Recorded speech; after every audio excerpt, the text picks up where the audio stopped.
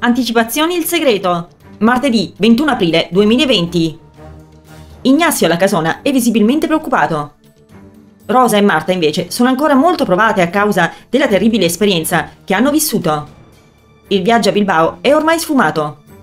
Manuela accoglie tutta la famiglia con gioia, cercando di risollevare gli animi. Carolina chiede di Adolfo e entrambi lodano il suo comportamento, sebbene riconoscano che è un furfante e nonostante questo anche il figlio della marchesa. Pablo e Carolina intanto passano insieme dei momenti dolcissimi. La ragazza è distrutta perché presto dovrà separarsi da lui, visto che partirà per il servizio militare. Pablo, purtroppo, non se la sente di tradire Don Ignazio, ovvero colui che l'ha cresciuto, rivelandogli di avere una relazione segreta con Carolina, la terzogenita dell'uomo. La giovane però non è affatto d'accordo e crede che il papà debba essere messo al corrente di tutto.